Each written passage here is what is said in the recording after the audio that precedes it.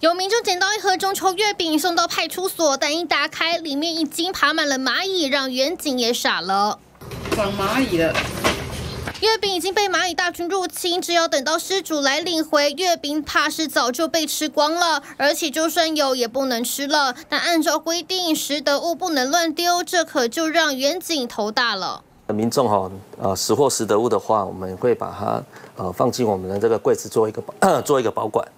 因为按照民法规定，民众捡到五百元以上的财物需要公告半年，如果没人领才会交给拾得人。但如果金额在五百元以下，还是得公告十五天。但碰到保存时效短的食物，还没等十五天，不是坏了就是长虫了。这次只有台南民众捡到月饼，不但品牌不明，价格查不到，就连包装上的日期也都没有。呃，如果依民法的规定哈，针对易腐坏物品，不过它没有超过保存期限的话，我们依程序哦，由机关。拟定底价，然后我们会公告来拍卖啊，或者我们进以市价来来变卖，然后并保管变卖之后的价金。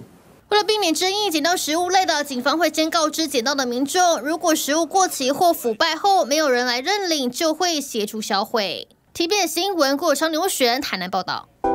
想看最完整的新闻内容，记得下载 TBS 新闻网 APP。